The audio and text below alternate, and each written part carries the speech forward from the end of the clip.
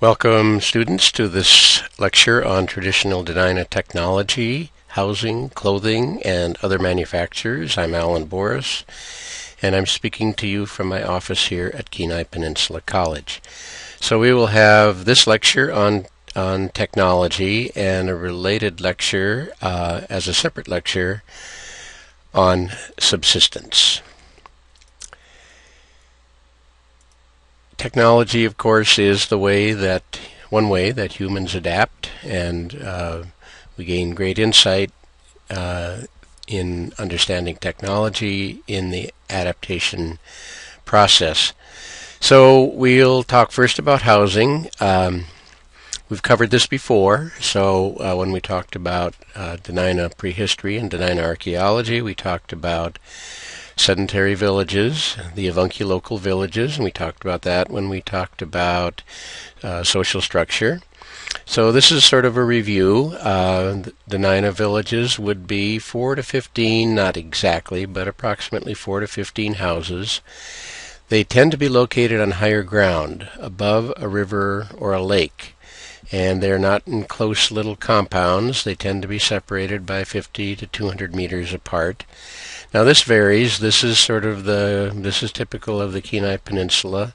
At a place like Kijik, for example, they are a little clo- more closely separated, although it's not entirely clear that all of those houses were occupied at the same time. So there might there certainly were multiple villages. Same with the upper inlet, but that tends to be the pattern.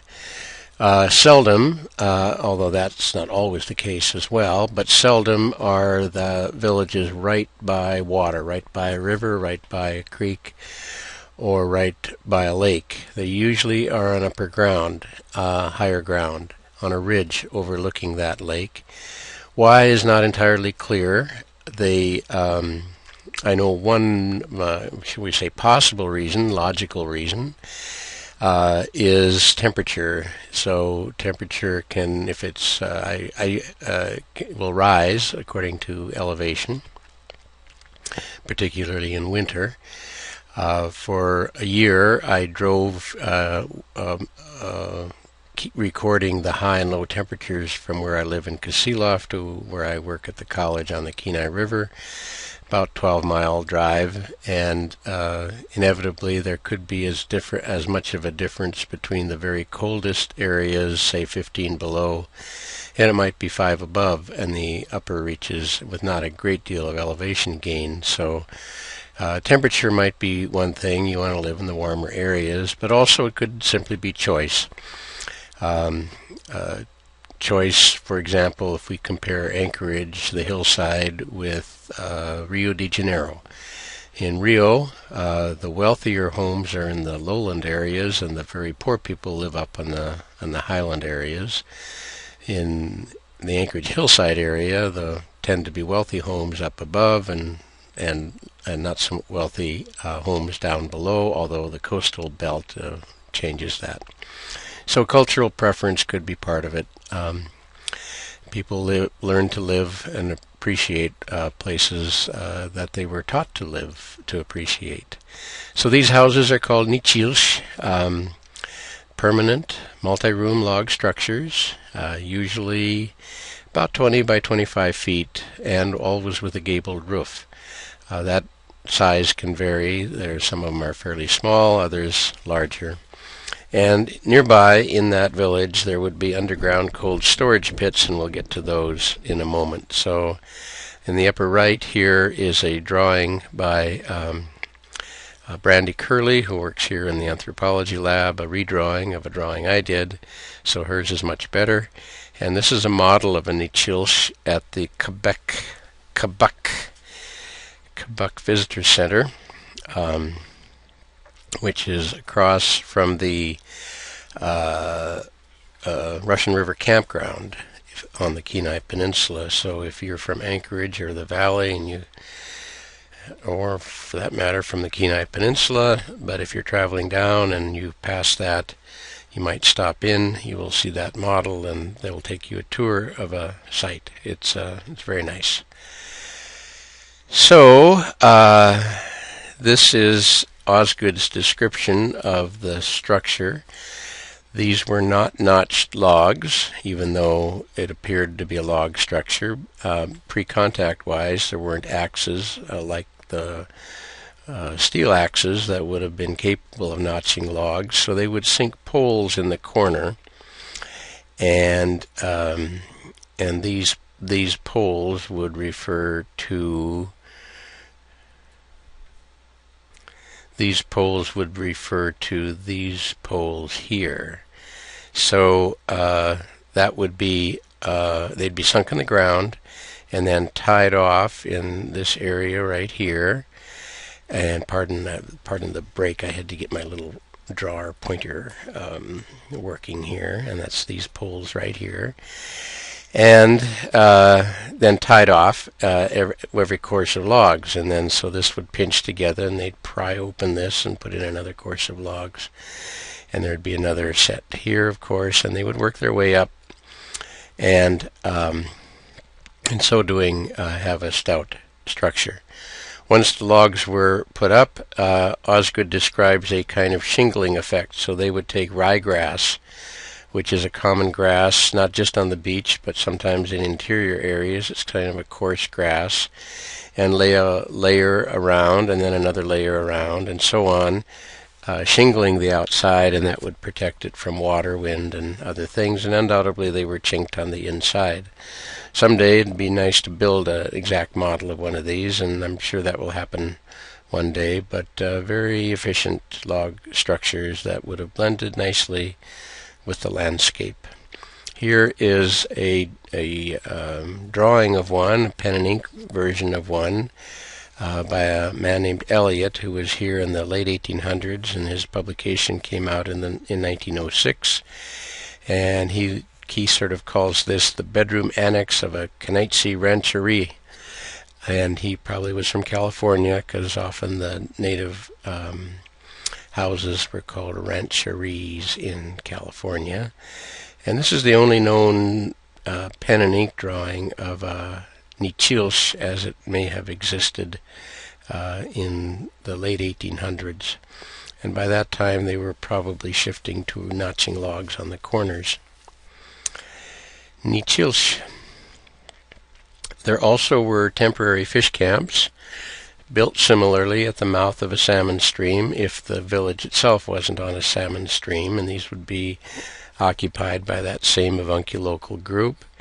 And uh, people would sleep inside where they also smoked the fish, cold smoking fish, and that was said to keep the mosquitoes at bay, the smoke, and uh, these were temporary or at least used only in the summer. Um, and these are temporary fish camps. Around the uh, village or near the village would be Esnen To. These are the underground cold storage pits, and we talked about the significance of those when we talked about uh, the appearance of the sedentary Dena'ina at 1000 AD. So again, it was a pit in the ground lined with birch bark and moss and birch bark, and then a layer of fish a layer of grass, a layer of fish, a layer of grass, all the time letting it freeze each night. And that became then covered with uh, more moss and birch bark, creating this thermal unit. And this uh, was uh, key to Dena'ina adaptation to um, the Cook Inlet and the Mulchatna and the Kvichak drainages. Another structure would be a temporary brush camp. These uh, would be uh, short-term shelters, um, sort of a pole and branch lean-to type thing. Far as I know, uh, built by all peoples in the wooded north, uh, your standard lean-to. It'd be typically to be occupied by a single man or maybe partners, Selden partners out uh, trapping in the winter uh, or small hunting parties, um, or um, whole villages. Not a, they would would each build their own. Each family or each couple of people would build their own, and uh, while they were traveling, so it was quick and easy. Uh, later, we'll talk about sheepskin uh, sleeping bags, which you would travel with, but you wouldn't br- bring a tent. uh, you would uh, build one of these, and uh, then you'd move on and and uh, just sort of let it go. I've built these, uh, slept in them. They're pretty pretty comfy. Uh, you have to build them so that the the wind is this way.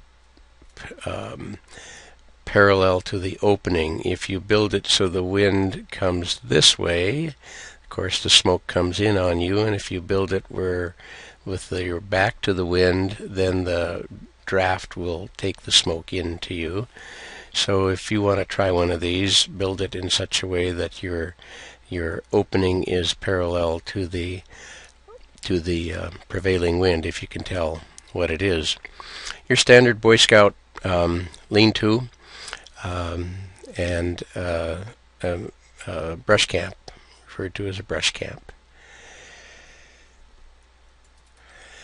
Another was a temporary beaver house, and I don't have any illustrations of that. This would be typically built by a group of men hunting in the fall up in the mountains. So uh, it would occur where you'd have an alder patch. So here I'm going to try to try to draw an uh, alder patch. These are alders. We've got a lot of alders here. These are all, you know, those thick, dense alder patches. If you've climbed in the mountains, you know how much you want to avoid those because they're wicked hard to get through. So let's see if I can. So there's your alder patch. I have to go to my pen here and get my eraser. And what they would do is clear out in the center, maybe a 10 by 10 area. They'd clear out the alders. Okay, not too bad, Alan. And then what they would do is, so I'm going to go down. This is this is from the top down here, and from a cross section. If this is the ground, they would, and this is the cleared part right here. They would bend outside trees over like so like so see if I can fill this in here. This is looking from a hat. Oop, I didn't do that one very well. We'll go back to the eraser here. Eraser. Got this is and pen. And bend these over. Tie them off. So that you would have this little shelter. And then use the ones you cut out from the middle to cover over the top and layer them in such a way that the wind and the water would the water particularly would shed off. And I don't know if they had they probably had a smoke hole or something in the middle and built a fire inside. So the same idea. They would travel light uh, not carrying a tent not carrying any any skins or anything like that. Build these kind of shelters up in the mountains. When they're done untie it and uh, I've watched alder grow back. They they'll grow back in a year or two, and maybe even when they go back and they would go back in the next year or so. So those are temporary beaver houses. Uh, quite a bit has been written in various cultures about the way the uh, dwellings matched the landscape, and in all of these cases you would have uh, dwellings matching, not being invasive to, but matching the landscape. Transportation, then, in summer. Um, we'll talk about three main types of transportation, four really. So, one would be walking, jogging on well established trails. Um, this um, was more common, I think, in later times, but there were earlier trails as well. Um, and the level of fitness is to be uh, admired here. Peter Kalifornsky, for example, told me that it was common for for them at Kalifornsky Village when it was still occupied, about 12 miles from Kenai, to jog in on the beach for a night on the town. And they'd have a night on the town, and late at night or early the next morning, jog back home. Everybody, every to jog 12 miles was no big thing. Uh, Herman Hermanson and Herman Lindgren tell the story of uh, working cutting wood in the Skilak Lake area and jogging 30 miles into Kenai for the dances on, that were held on Saturday night.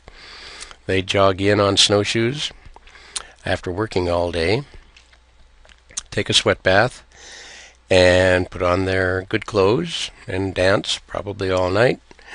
Next morning, get up, go to church, uh, and put on their work clothes, jog back to be 30 miles to Skilak Lake area to be ready to go again Monday morning to work cutting wood. Very fit people. Whole villages would travel men, women, children. Uh, and these established trails um, uh, would be part of that. I should add that many of those were winter trails, and we'll talk about that next uh, as far as using snowshoes. Mostly in the summer, however, uh, the the rivers and lakes were used because of the marshy conditions and uh, of the hinterland uh, and the dense forest. Uh, uh, the summer transportation was primarily water transportation. So birch bark canoes were used. Here's a picture from Osgood's book, which you have in your packet of a birch bark canoe. Since birch bark grows more in northern areas, uh, this would be more typical of, say, from the Ninilchik north and uh, probably more in the Tyonek area north and so on. But there's plenty of birch bark around, and this is your standard northern birch bark canoe. This is a Dena'ina style. A second type of transportation was this moosehide boat. And here, Peter Kalifornsky's father and uncle are in one of those moosehide boats. Uh, we haven't been able to find, or I haven't been able to figure out exactly where this was. It looks like it's on a lake. Thought initially it was Tustumena, but it's not Tustumena. I went up trying to match the photo with the with the with the place, um, but haven't quite succeeded yet. So the Moosehide boat was a fall uh, temporary boat. It wasn't meant to be the permanent boat that the canoe was or the Bikudini, the kayak was uh, down here. It was a temporary boat. You'd go up, you'd hunt a moose, probably caribou at one time, and the hide of the killed moose became the out the skin of the boat, and then you would put the meat and and all into the boat and go back downstream. So these were mainly downstream boats. They were they were not as uh, sleek and uh, easy to maneuver as birch bark or, or certainly the kayaks. And so this is a picture from Peter Kalifornsky's book, which you also have um, in your in your packet. And the third type of watercraft was a kayak, also called a baidarka. The Dena'ina term was bikodini, bikodini, and this was used mainly in saltwater. Uh, almost certainly borrowed from Alutiiq peoples, uh, typical saltwater type of craft. Um, the Dena'ina didn't use a double-bladed kayak; they used a single-bladed kayak, and here you see this photograph from the Gompertz collection. Kate Gompertz was the wife of a cannery manager in Kenai in the late 1800s, early 1900s, and this photo is almost certainly taken right off the beach in Kenai.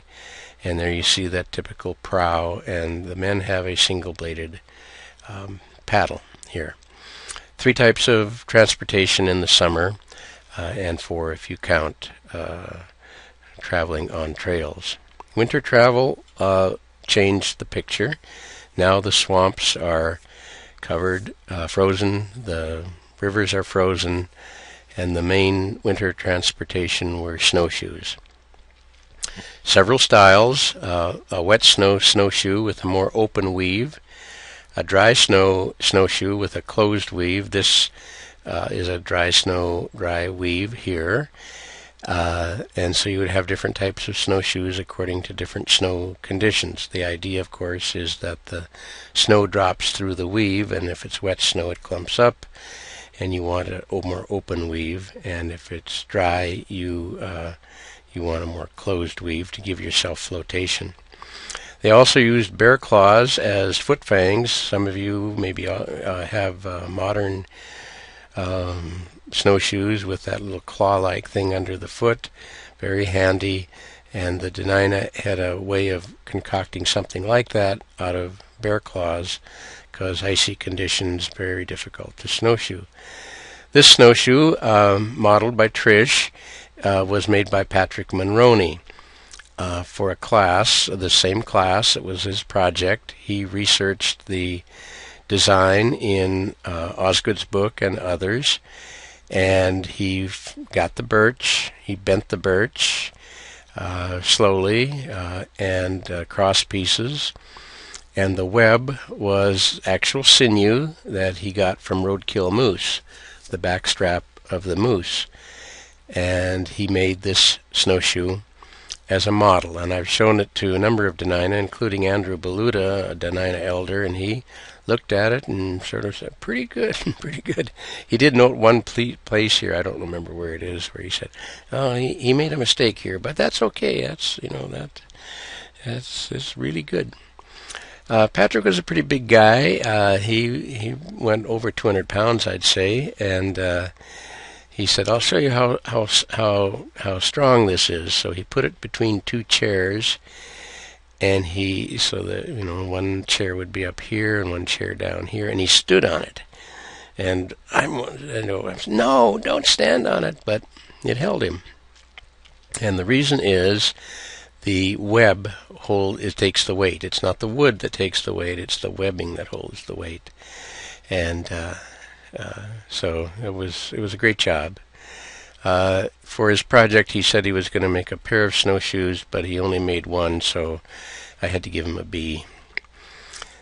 And I hope you don't take that seriously. It was, it was a, it was a perfect, it was a great job. So winter travel then, uh, small dog teams were commonly used, particularly by people out trapping. Uh, three, four dogs, small teams, not uh, not large teams there's a kind of a, a economy of scale. The more dogs you have, the more food. And if you're just out traveling, uh, one one or two people, small dog teams are uh, are what you want to have because you have to feed those dogs. And in earlier times, that is before uh, European contact, uh, without axes and saws, it was harder to make trails. We don't have the same sort of natural trails like the Yukon River or any of the rivers up north that are wide and frozen for the most part. The Kenai River, for example, typically breaks up. The Susitna River breaks up. Um, places like the Chulitna River break up at times, so that you can't count on them for large dog team travel. So it was more typical to use these small dog teams.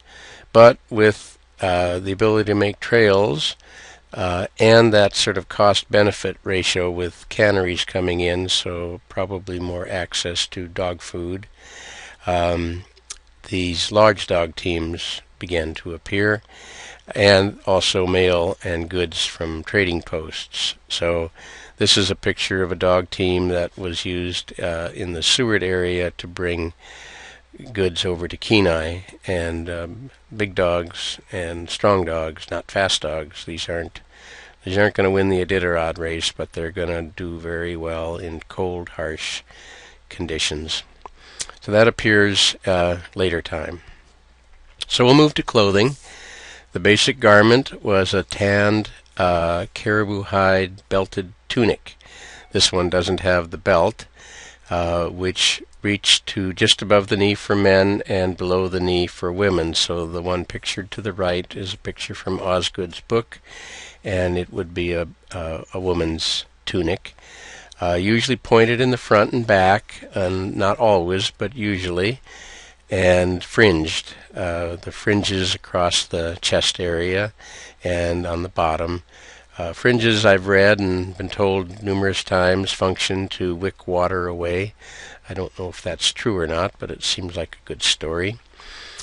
The dress version would have been very elaborate uh, and uh, decorated with quills, and I'll show you that, and or dentalium shells, tanned to this sort of off-white. And I've seen uh, in back rooms of museums, I've seen uh, these uh, garments, and they're just absolutely beautiful and very soft and very supple and just uh, amazing garments. Um, uh, not not you know, leathery, creaky, hard, but soft, uh, supple garments. Men wear the tanned uh, skin pull-on pants underneath, but the women only the tunic, and of course it's longer. Here's some more pictures. Uh, this is a this is a tunic that uh, has the different style quill work, uh, beadwork, pardon me, at the top, the fringing. Uh, beautiful colors. Another one here, lower right, different colors. It's possible that the colors reflect clan identity, but nobody's quite figured that out yet. Possibly the beadwork pattern reflects clan identity. This one in the upper right is a woman's um, Dena'ina garment in the Anchorage Museum, and uh, that is, I believe, on display. And there's her uh, cap, which draped down uh, over the back. Men didn't wear this type of cap, but women women did. The tanning was probably brain tanning uh, as the main agent. Uh, they could tan with the hair on, the hair off. They were experts at doing this type of work. Brains provides the right amount and type of acid that helps break down the stiffness without breaking down the garment uh, too much. Boots then were knee length, uh, tied off at the top, and probably also tied off with a right here, uh, and those were decorated as well. Those ties, um, caribou, could be sheep, um, and with the hair on would be very warm. The soles were brown bear or um, beluga skin, and this would be the sole. Of course, this part sewed on here, so you could unsew it and replace the sole, and this part of the garment, of course, is still good as you wore out the sole. Brown bear and beluga are both very tough skins, so they're not going to wear out very fast. They were greased with porcupine grease for water repellency. So the porcupine is boiled in water, and you skim off the grease that rises to the top, and that becomes the water not waterproofing agent, but the water resistant agent. You want the boots to breathe. You don't you want them to repel water but not be totally waterproof because then you have problems with your feet uh, sweating and uh, potentially uh, trench foot. Uh, often trimmed with marten, lynx, or beaver. Uh, interestingly, the poor were said to trim their boots with mink. sort of the opposite. We have that standard where mink is the high class fur and with Dena'ina was the low class fur. Old men and children usually went barefoot unless traveling, uh, as did men when running down game, and that's sort of a curious thing. Um, how you know going barefoot seems uh, like that's a pretty harsh thing to do. I was once in a 10k running race, and uh, uh, this was in Oregon, and it was on pavement, but there were a lot of gravelly little stones. And some of you have been in 10K races, especially when you're back in the pack, as I always am. And you know, you're kind of running along, and it settles down after a few kilometers. Wop wop wop wop wop wop, and everybody around you is doing the same wop wop wop at the same pace, and and here, I don't know, three, four kilometers in, the guy comes by, whap, whap, whap, whap, and look down. He's barefoot. And he, of course, attracted quite a crowd at the end. And the calluses on his feet were, I don't know, I didn't didn't touch them, tell you the truth, but they were a good quarter quarter of an inch, maybe more. Very tough. And he just didn't like wearing shoes, and and I don't know what he did for a living, but he didn't wear shoes. So um, he was able to to run in that kind of condition, and this probably would have been typical of most people in Dena'ina territory, pre-contact wise, uh, building up the toughness, and that's also a good thing because um, it uh, it means that you have a kind of resistance to any kind of foot problems that might occur. So winter clothing then, uh, the same tunic and pants as the summer. So you wear the same summer gear, but over that you had a belted, a hooded fur parka, anorak style, or a coat that wasn't didn't have the um, the that wasn't an anorak style coat, and that was would reach just below the knee for men uh, or ankles for the women. So these long coats, caribou uh, tanned with the fur on the outside, ties at the wrist and hood, and the sheepskin parkas were known, but they were rare. Uh, too hot, so you you know there's a there's that right balance of having enough insulation so you're comfortable, but not too hot so you sweat, and that defeats the purpose. I don't have any pictures of that, but this one is probably the hunter's garment. Uh, active hunters used a waist waist length parka made of caribou tanned with the fur on the outside. Well, this one doesn't have the fur on the outside, but it's uh, sort of that smaller parka. This illustration is from Osgood. They'd carry it while they were traveling because they're snowshoeing, they're exerting, those of you who are snowshoers or skiers know that you can't have all your insulation on or you're just going to sweat too much and defeat the purpose. But you put it on when you're in camp. You put your coat on when in camp. Uh, rich men occasionally have parkas made of eagle or loon skin. Took about 20 skins, um, and the feathers are plucked, but the down is left on. And those examples that are in museums are just remarkable. They're just amazing and very warm and uh, very beautiful, but I'm sure took more effort to make than the average parka. Winter clothing. In addition to the parka were winter overpants, so these would be pulled on over the over the regular pants with the footie here, this sort of jammy-like footie, uh, sewn in, and that becomes your uh, winter garment sort of like overpants that skiers will sometimes wear. And this would be lined with grass or rabbit fur. Uh, grass is a very good insulator. Uh, and of course, once it gets wet, you simply toss it out and put in dry grass. Sort of like some of you may have Sorel uh, type boots, and you know once the liner gets wet, it's pretty much useless. So you, if it's really cold, you carry a second liner. Rabbit fur also extremely warm. Same thing, they probably wouldn't have thrown it away, but they would have exchanged dry rabbit fur when they're traveling or working in cold weather. Easily as functional as any modern um, winter gear that we have today, I would say. Um, it's a real trick working outside in winter for eight hours a day or longer, well into the night. And uh, the idea is to be able to manage your clothing, know how much to wear, know how much, when to take it off, when to put it on, having the right gear. There's an old Swedish saying that says there's no bad weather, only bad gear. If you got the right gear, know how to use it, and you'll do okay. I wouldn't be surprised if there's something like that in every northern people's vocabulary. No bad weather, only bad gear. So this is some of the winter clothing that would have made active outdoor work possible in the winter for the Dena'ina. The quill work and bead work is very interesting. This uh, illustration in the upper left is quill work.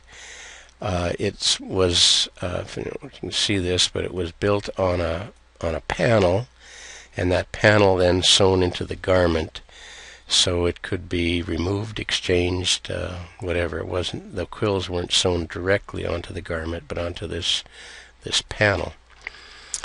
And the quills are flattened and processed and dyed, and the technique of sewing is this over-under type thing.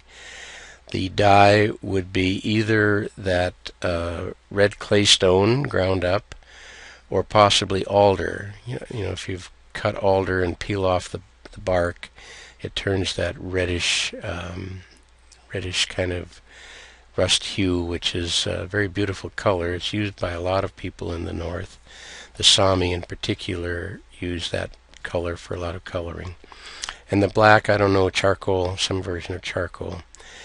And this is probably the natural color right here. So porcupine uh, quill work is very beautiful uh, but gave way to uh, beadwork, and beads were highly desi- desirable in the early trade uh, to create patterns like this, and then uh, patterns like this. So the early quill work was geometric in style, and that style then carried over into beadwork, geometric forms like is like right in here. But eventually the beadwork went from geometric forms to these floral patterns, and these patterns uh, uh, uh, supplanted or, trans- or uh, uh, the, uh, the the geometric designs, replaced. That's the word I'm looking for. Replaced the geometric designs. And so we have a sequence here. I'm sure someone who knows beadwork well could just look at the garment, look at the idea, and tell what period it comes from. Uh, it also represents something of an ideological shift from uh, accommodating or dealing with, let's say, uh, trade, uh, and how the technology then responds to uh, different ideas of what patterns to use. Quillwork, beadwork. This is a um, set of images that uh, just illustrate more of the type of garments. Uh, this is a this is a quiver uh, with the extensive beadwork, I think, in this case, uh, on the quiver.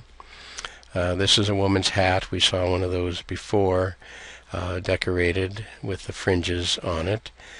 And here's a set of mittens that uh, appear to have the quill work, that geometric quill work. I don't know. This is from Osgood's book. Um, harder to make gloves, but gloves were known as well. And here's a foot, uh, um, a um, boot bottom of the boot shows the beadwork design. I, I am got to be thinking this is for potlatches and other ceremonies. This is dress up gear. Uh, doesn't seem to be all that functional for working out in the woods, but I don't know. Here's a pouch that uh, various things would be carried in.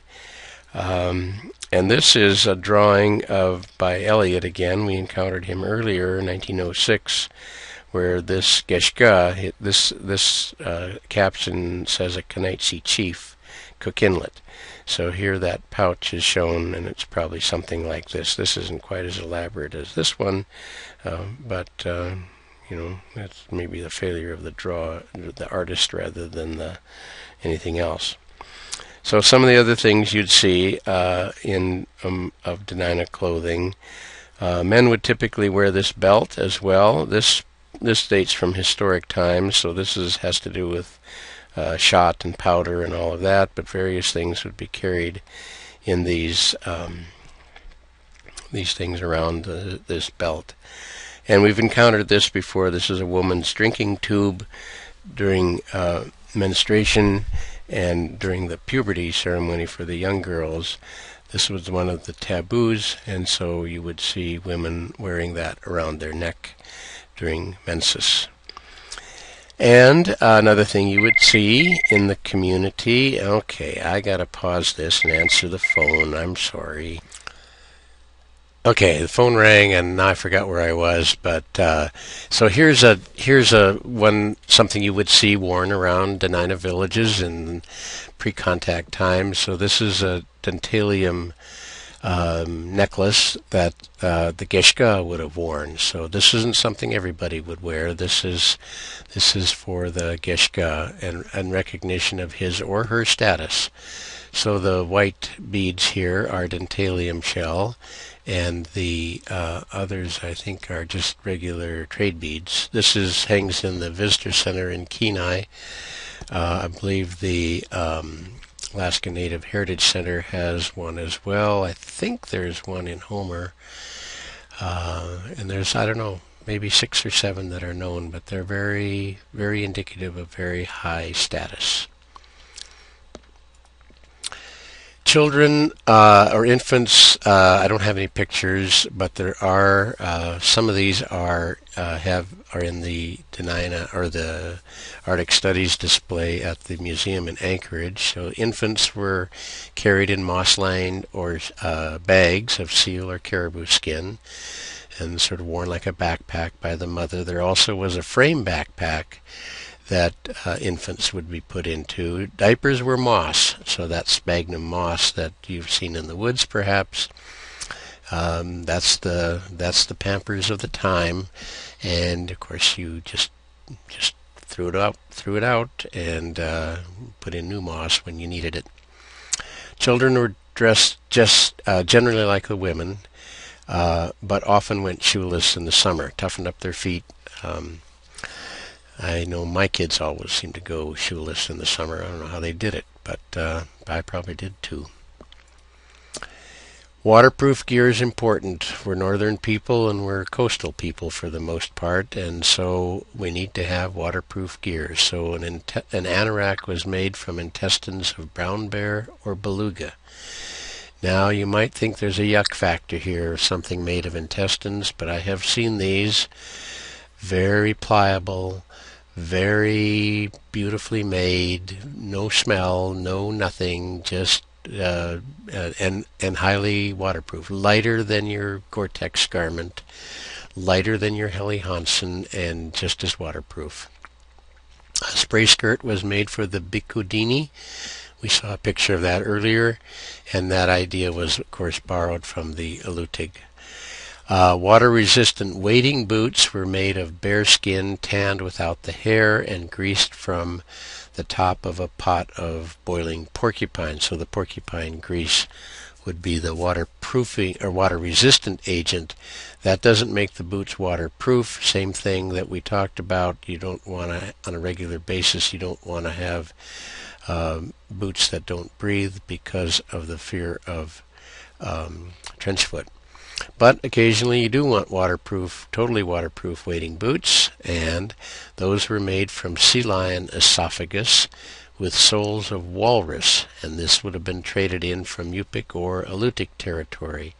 So same thing, these were uh, the esophagus, the windpipe, um, was processed in such a way that it was both waterproof but uh, was uh, was very pliable and and easy to use. Waterproof gear. Uh, sleeping robes and bags. I don't have any images of these, but robes were made of ground squirrel.